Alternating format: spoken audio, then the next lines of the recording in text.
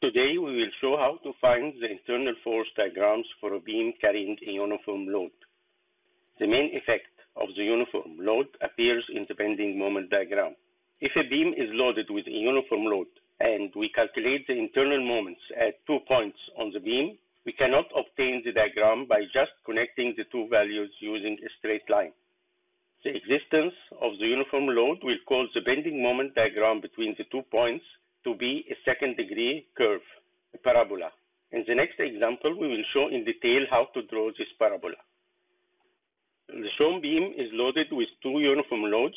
As shown, it is required to draw the internal force diagrams. The first step is to calculate the reactions. Then we start by calculating the internal forces at the critical points on the beam. We start at support A by evaluating the internal forces just to the right of point A. As detailed in a previous lecture, we calculate the internal forces at a point by dividing the beam into two parts at that point and using the forces in only one of the two parts to evaluate the internal forces. We are free to use any one of the two parts, but take care that the sign convention for the left part is opposite to that of the right part. For the current point, we will work on the left part, so we will display the sign convention of the left part for reference. Because the beam is not subjected to any horizontal force, the normal force will be zero for the whole beam. The shear force is the sum of all the vertical forces in the left part. We only have YA in the left part, which is equal to 10.5 kilonewton, so the shear force will be positive 10.5 kilonewton. We draw this value to scale on the shear force diagram. To find the value of the internal bending moment, we take the moment of all the forces located at the left part about the considered point, which is point A. The moment about point A will be zero because all the forces in the left part pass through A. Next, we evaluate the internal forces at the next critical point, which will be point C, located at the end of the first uniform load. Because there is no concentrated load at point C, the internal forces just to the left and right to point C will be identical.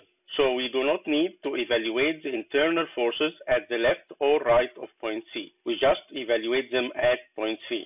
We follow the same procedure by dividing the beam into two parts at point C and we will use the left part. To simplify the calculations, we need to convert the distributed load in the left part to an equivalent concentrated force, which will be 12 kilonewton located at 1.5 meter from point A. The normal force will be zero as before.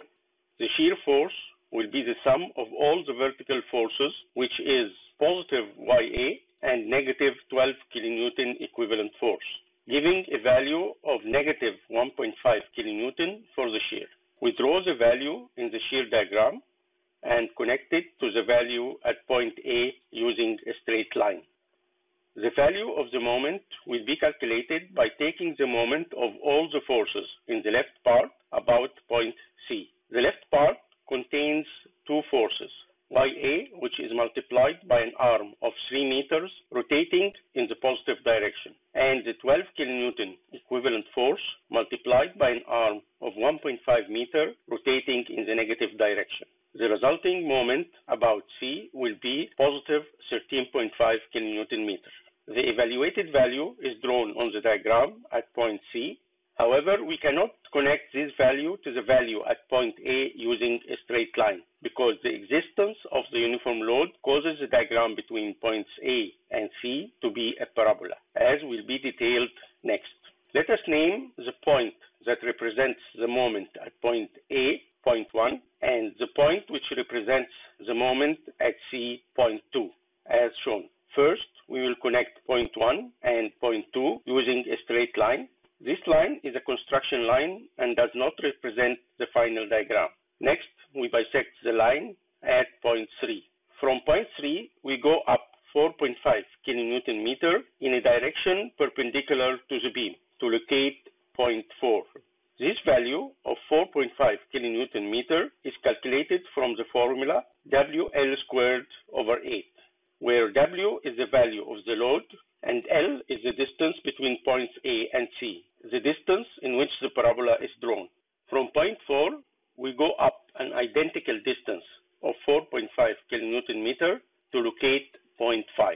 Next, we draw three lines to act as tangents to the parabola. The first tangent connects point 1 and 5. The second tangent connects point 2 and 5. And the third tangent passes through point 4 and is parallel to the line 1, 2. Finally, we draw the parabola as a curve tangent to the three lines and passing through points 1, 2, and 4, as shown. As a confirmation, we will repeat the calculation of the internal forces at point C, but now using the part to the right of point C. First, we will convert the uniform load in the right part to an equivalent concentrated force, which will be 6 kilonewton, located 1.5 meter from point C. Then we display the sign convention of the right part for our reference. The normal force will be zero, as before. The shear force will be the sum of two forces, YB, which is negative 7.5 kilonewton, and the positive 6 kilonewton equivalent force, giving a value of negative 1.5 kilonewton for the shear at C, which is the same value evaluated earlier using the left part. The bending moment is calculated by taking the moment of all the forces in the right part about point C, which is YB multiplied by an arm of 3 meter rotating in the positive direction and the 6 kilonewton equivalent force multiplied by an arm of 1.5 meter rotating in the negative direction, giving a net value of positive 13.5 kilonewton meter for the moment at C, which is identical to the value calculated previously using the left part. Next, we move to the point on the left of the roller support at B. For this location, we will work on the right part, so we will display the sign convention for the right part for reference. The normal force will be zero. Only one vertical force is present, which is the reaction YB, with a value of 7.5 kilonewton upwards. So the shear will be negative 7.5 kilonewton because positive on the right side is downwards. The value of shear is drawn on the diagram at point B and connected to the value at point C with a straight line. The bending moment at point B will be zero because all the forces in the right part pass through point B.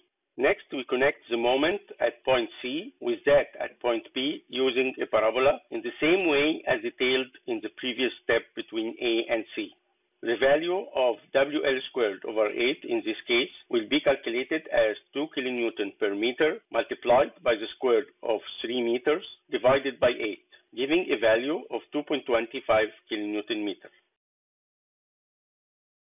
After connecting all the calculated values, the final diagrams are produced as shown.